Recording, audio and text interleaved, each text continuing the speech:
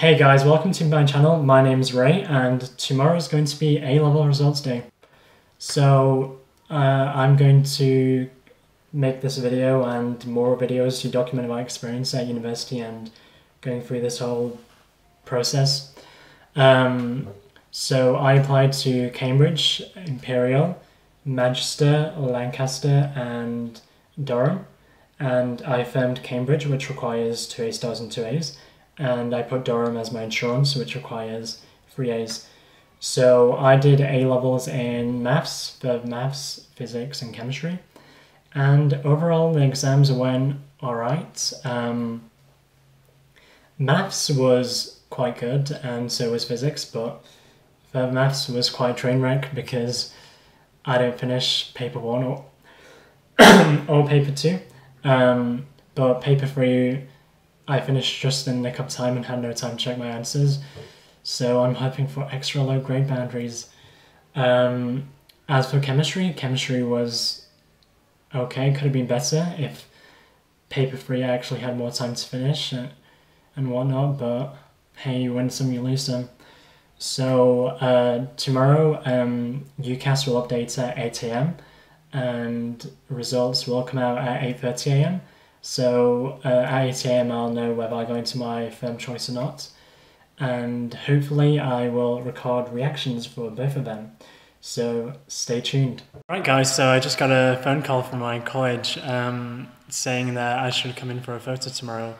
And I get my results slightly earlier than I originally said, so hopefully all goes well.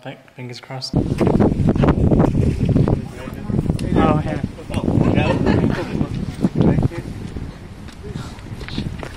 Uh, well, Sorry.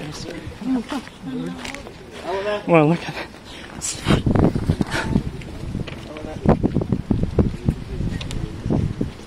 Okay, that's good. Sam, Thank you. For That was the entitlement too. It was. I mean, there are too many people here, so. So I'm back home now, and I didn't quite do everything in the order that I said I was going to do in the video, but I still got my result and track updated, so that's all that matters. As you can see, my place has been confirmed, which I'm very delighted with, and yeah, uh, I've. Some of you watching this may have not got the results you were hoping for, but as Ibsmo always says, it's not rejection, it's redirection.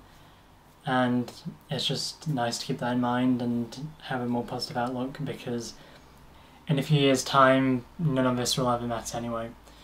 So, I hope all the GCSE students watching this, best of luck with results day next week. And I hope you stick around. Um, I'm going to carry on making some more videos if you guys want. Uh, if you have any suggestions, leave them in the comments below, and I'll see what I can do.